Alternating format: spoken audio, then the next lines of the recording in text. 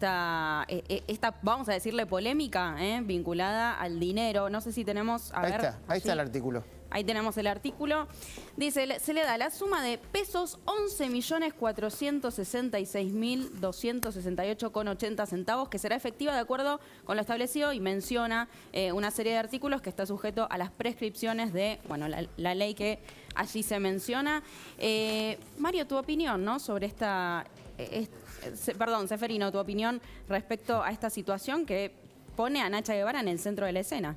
Sí, para mí es muy peligroso porque los exiliados nunca lograron una ley porque el Congreso no se animaba. Entonces, lo que hacían los exiliados que querían cobrar era ir a la justicia. En este momento, lo que van a hacer es ir a la Secretaría de Derechos Humanos que con total discrecionalidad va a decir que sí, cobren. Claro, Un gran problema, pero, pero no es lo mismo que haber estado detenido. Entonces, lo que hace la Pietragala, el secretario de Derechos Y Humanos... es Zanini, decir- ¿no? Y Zanini, que es el que metió Sí. el, de- el Claro, ellos dicen, no, es lo mismo que haber estado detenido. No, pará, no Bueno. es lo mismo. Entonces eso yo creo que puede ser discutido legalmente, aunque creo que nadie se va a animar, pero abre la puerta a una catarata de pagos, porque el problema que tenían muchos exiliados era que no podían justificar su condición de tal. Claro. Mucha gente se fue a vivir, algunos con temor, otros no, pero no tenían ningún papel. Y ese era el tema por el cual muchos no podían Y pagar. es una, es una maquinaria Seferino que no para. Oh. Y le pregunto a Negri si lo del Estado, que además uno puede decir, un gobierno que tuvo a la candidata, ¿te acordás? Testimonial Nacha Guevara en su momento, no está vinculando una cosa con la otra, se lo pregunto a Negri.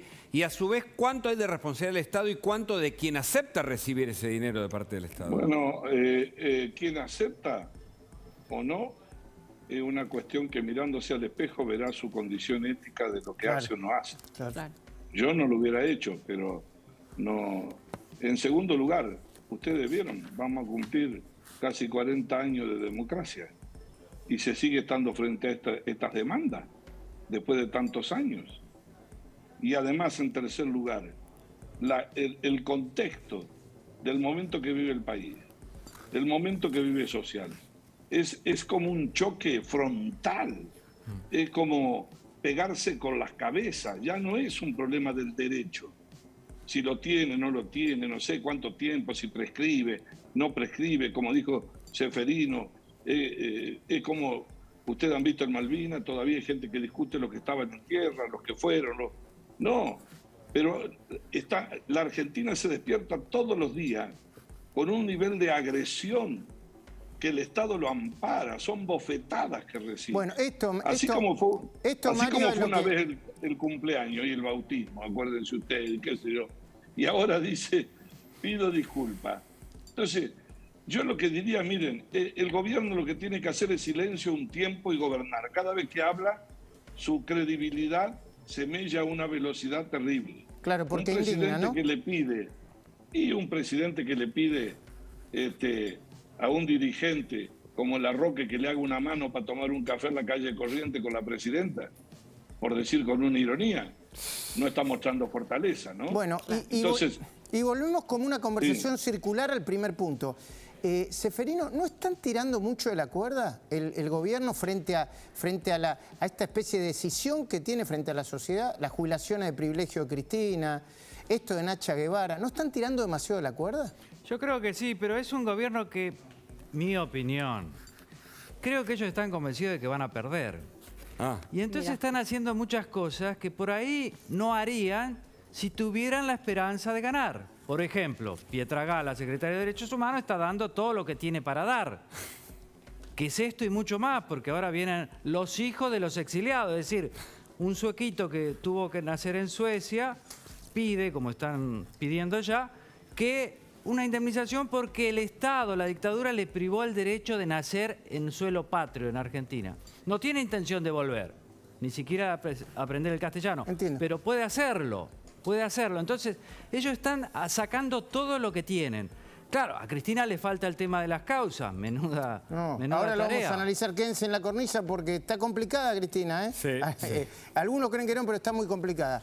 Seferino, eh, En, queremos en- ver... en un ratito más, ¿eh? después. Sí, sí. ¿eh? Sí, sí, sí. Le agradecemos a Mario Negri, por supuesto, a Seferino Rato estar acá. Eh, su libro, eh, una gran Eh, obra de Seferino, ahí lo vemos. ¿eh? ¿eh? Lo recomiendo fervientemente. Es tremendo libro. Masacre en el comedor, la bomba de montoneros en la Policía Federal, el- atentado más sangriento de los 70, la nueva obra de Seferino Reato. Felicitaciones, Seferino, por esto. Muchas- muchas Quiero gracias saludarlo solamente y despedirme, Luis. Sí, como Y no, que sí. va a analizar la ju- va Sí. que va a analizar la justicia, hoy creo que hubo una buena noticia, que es eh, el Twitter del ex ministro Labaña, anunciando de que su bloque no va a acompañar en diputado el proyecto de Consejo de la Magistratura Muy buena noticia. que Cristina quiere sacar a cualquier precio. Es cierto, Eso Mario. también es una buena noticia. Claro que sí.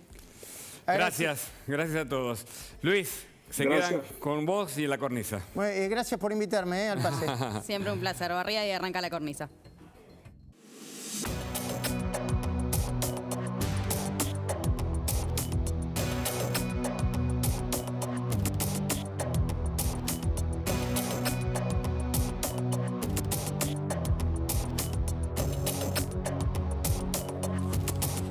Título del comentario de hoy es